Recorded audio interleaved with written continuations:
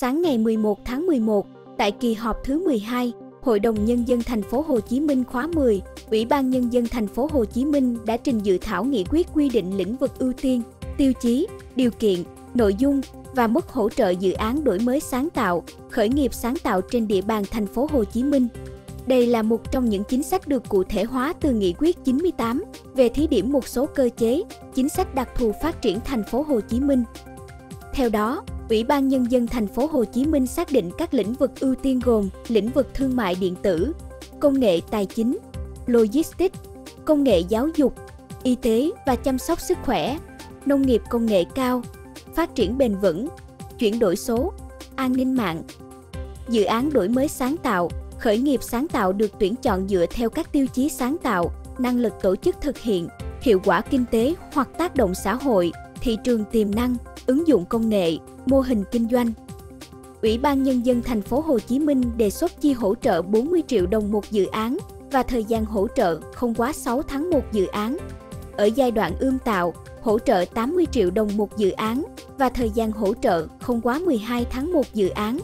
Ở giai đoạn tăng tốc, mức hỗ trợ 400 triệu đồng một dự án và thời gian hỗ trợ không quá 12 tháng một dự án.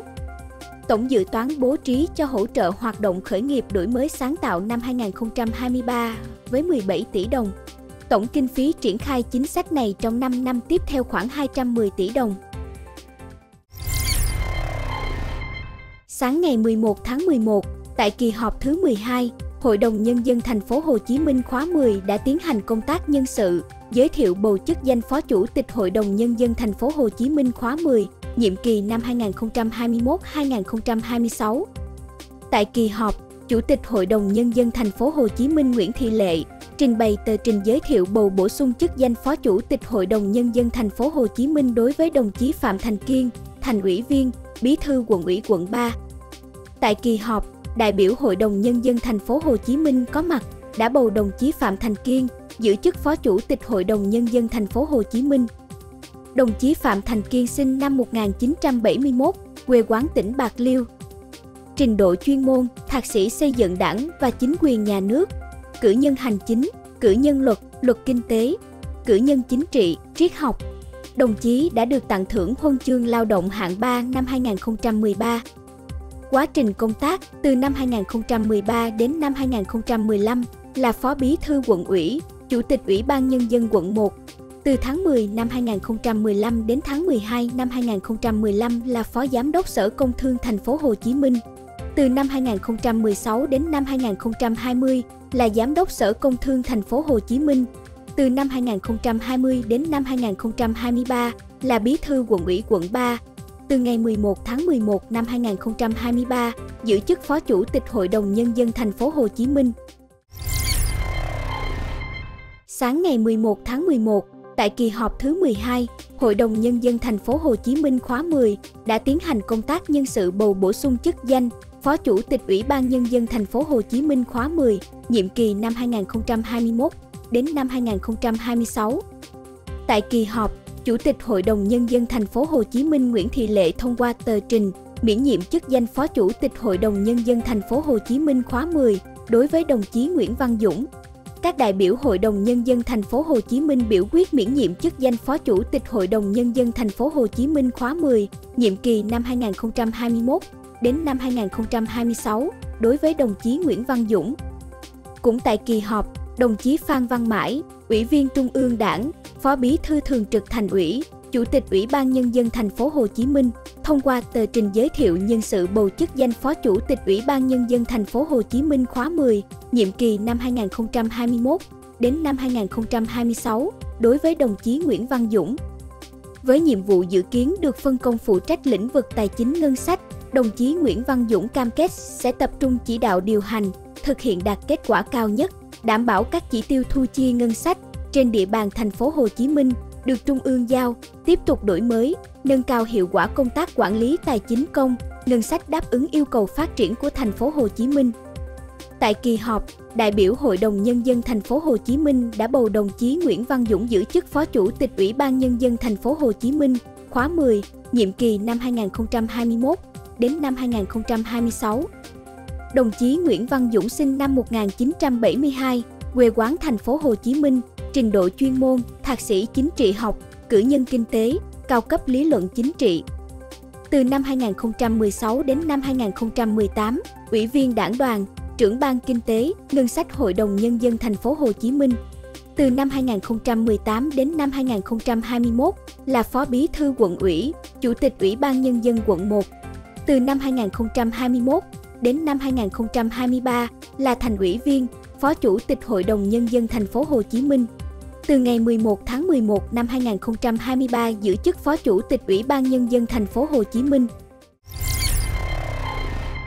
Ngày 11 tháng 11, thành phố Thủ Đức ra mắt trung tâm hành chính công trực thuộc thành phố Thủ Đức.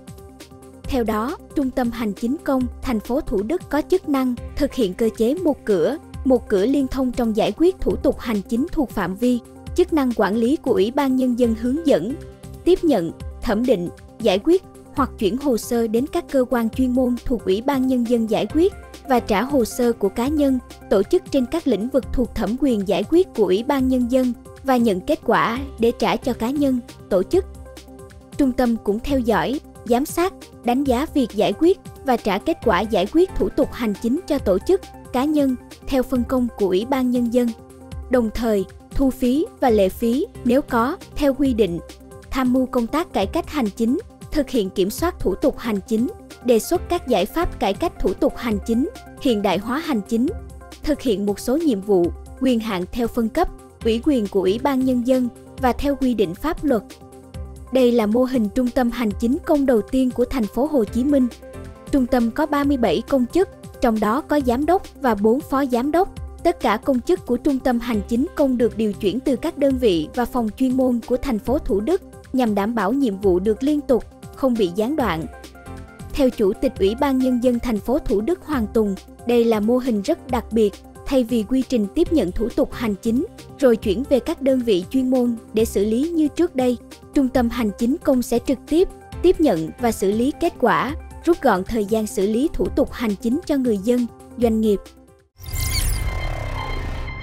Chiều ngày 10 tháng 11, Văn phòng Ủy ban nhân dân thành phố Hồ Chí Minh cho biết, Thủ tướng đã đồng ý bổ sung dự án đường cao tốc thành phố Hồ Chí Minh một bài vào danh mục các công trình, dự án quan trọng quốc gia trọng điểm ngành giao thông vận tải. Đường cao tốc thành phố Hồ Chí Minh một bài giai đoạn 1 có tổng mức đầu tư khoảng 20.889 tỷ đồng, dài khoảng 50 km, đoạn thành phố Hồ Chí Minh 23,7 km, đoạn Tây Ninh 26,3 km, đây là tuyến giao thông đường bộ ngắn nhất kết nối thành phố Hồ Chí Minh với Campuchia qua cửa khẩu quốc tế Một Bài, phục vụ phát triển chuỗi công nghiệp Một Bài thành phố Hồ Chí Minh cảng Cái Mép, Thị Vải, gắn với hành lang kinh tế xuyên Á. Đồng thời, tạo điều kiện phát triển các khu công nghiệp, khu chế xuất dọc tuyến, đặc biệt là khu kinh tế cửa khẩu Một Bài. Dự án dự kiến khởi công năm 2024 và phấn đấu cơ bản hoàn thành năm 2027. Ủy ban Nhân dân thành phố Hồ Chí Minh đã báo cáo đề xuất Bộ Kế hoạch Đầu tư xem xét bổ sung dự án đầu tư xây dựng đường cao tốc thành phố Hồ Chí Minh một bài giai đoạn 1 vào danh mục các dự án thí điểm chính sách về khai thác khoáng sản làm vật liệu xây dựng thông thường. Báo cáo Thủ tướng trình Quốc hội thống nhất bổ sung trong nghị quyết của Quốc hội thí điểm một số cơ chế, chính sách đặc thù về đầu tư xây dựng công trình giao thông đường bộ,